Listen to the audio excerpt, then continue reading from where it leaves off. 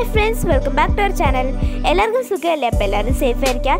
ഇന്ന് നമുക്ക് നല്ല ടേസ്റ്റി ആയ ഒരു നാടൻ മട്ടൻ റോസ് ഉണ്ടാക്കിയാലോ? അപ്പോൾ ഇതെങ്ങനെ ഉണ്ടാക്കാമെന്ന് നോക്കിയാലോ?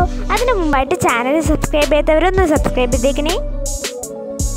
നമ്മളുടെ മട്ടൻ റോസ് ഉണ്ടാക്കാൻ വേണ്ടിയിട്ട് കഴുകി വൃത്തിയാക്കി വെച്ചിരിക്കുന്ന മട്ടനിലേക്ക് ഒരൽപ്പം മഞ്ഞൾപ്പൊടിയും അര ടീസ്പൂൺ മുളക് പൊടിയും ഒരു ടീസ്പൂൺ മല്ലിപ്പൊടിയും പിന്നെ മുക്കാൽ ടീസ്പൂൺ കുരുമുളക് പൊടിയും കൂടി ചേർത്തിട്ട് കുറച്ച് ഉപ്പും കൂടി ചേർത്തിട്ട് നന്നായിട്ടൊന്ന് കൈ വെച്ച് മിക്സ് ചെയ്തെടുക്കാം.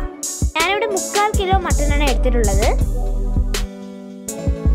ഇപ്പം ഇതെല്ലാം നന്നായിട്ട് മിക്സ് ആക്കി ഇട്ടിട്ടുണ്ട് ഇനി ഇതിലേക്ക് കുറച്ച് വെള്ളവും കൂടി ഒഴിച്ചിട്ട് കുക്കറിൽ മൂന്ന് വിസിൽ വരുന്നത് വരയ്ക്കും വേവിച്ചെടുക്കാം. ഇനി ഒരു പാനിലേക്ക് അല്പം എണ്ണ ഒഴിച്ചിട്ട് അതിലേക്ക് കറിവേപ്പിലയും പച്ചമുളകും സവാളയും കൂടി ചേർത്തിട്ട് വഴറ്റിയെടുക്കുക. സവാളയൊക്കെ നന്നായിട്ടൊന്ന് വഴണ്ട് കിട്ടാൻ വേണ്ടിയിട്ട് ഇതിലേക്ക് ഒരൽപ്പം ഉപ്പും കൂടി ചേർത്ത് കൊടുക്കാം. ഞാനിവിടെ മൂന്ന് മീഡിയം സൈസുള്ള സവാളയാണ് എടുത്തിട്ടുള്ളത്. ഇതിലേക്ക് സവാളയ്ക്ക് പകരമായിട്ട് ചെറിയുള്ളി ചേർത്താൽ നല്ലൊരു ടേസ്റ്റാണ് ഇപ്പോൾ ഇതെല്ലാം നന്നായിട്ട് വഴണ്ട് വന്നിട്ടുണ്ട്. ഇനി ഇതിലേക്ക് രണ്ടര ടീസ്പൂൺ ജിഞ്ചർ ഗാർലിക് പേസ്റ്റും കൂടി ആഡ് ചെയ്ത് എന്റെ പച്ചമുളകൊന്ന് മാറി കിട്ടുന്നവർക്കും വഴറ്റിയെടുക്കാം. ഇപ്പോൾ ഇതെല്ലാം നന്നായിട്ട് വഴണ്ട് വന്നിട്ടുണ്ട്. ഇനി ഇതിലേക്ക് നമുക്ക് ആവശ്യമായിട്ടുള്ളത് തക്കാളിയാണ്. ഞാനിവിടെ രണ്ട് മീഡിയം സൈസിലുള്ള തക്കാളി എടുത്തിട്ടുണ്ട്. ഇതും കൂടി ചേർത്ത് നന്നായിട്ടൊന്ന് വഴറ്റിയെടുക്കാം. ഇനി ഇതിലേക്ക് ഒരല്പം മഞ്ഞൾപ്പൊടിയും എരിവിന് ആവശ്യമായ മുളക് പൊടിയും രണ്ടര ടീസ്പൂൺ മല്ലിപ്പൊടിയും പിന്നെ ആവശ്യത്തിന് മട്ടൻ മസാലയും കൂടി ചേർത്തിട്ട് നന്നായിട്ടൊന്ന് മിക്സ് ചെയ്തെടുക്കുക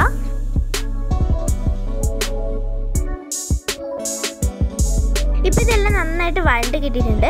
ഇനി ഇതിലേക്ക് നേരത്തെ വേവിച്ച് മാറ്റി വെച്ചിരിക്കുന്ന മട്ടനും കൂടി ചേർത്തിട്ട് നന്നായിട്ടൊന്ന് മിക്സ് ചെയ്ത് കൊടുക്കുക ഇനി ഇതിലേക്ക് ഒരൽപ്പം വെള്ളവും കൂടി ചേർത്തിട്ട് ഇത് കുറുക്കി കിട്ടുന്നവരേക്കും വെയിറ്റ് ചെയ്യുക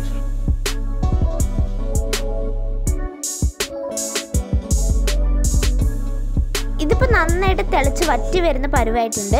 ഇനി ഇതിലേക്ക് ഒന്നര ടീസ്പൂൺ കുരുമുളക് പൊടിയും കൂടി ചേർത്ത് മിക്സ് ചെയ്ത് കൊടുക്കാം മട്ടൺ ഗ്രേവിയാണ് വേണ്ടതെങ്കിൽ ഈ ഒരു പരുവത്തിൽ തന്നെ സ്റ്റൗ ഓഫ് ചെയ്യാം. ഞാനിവിടെ കുറച്ചും കൂടി കുറുക്കി എടുത്തിട്ടുണ്ട്. അങ്ങനെ നമ്മളുടെ മട്ടനൊക്കെ കുറുക്കി ഏകദേശം റെഡിയായി വരുന്നുണ്ട്.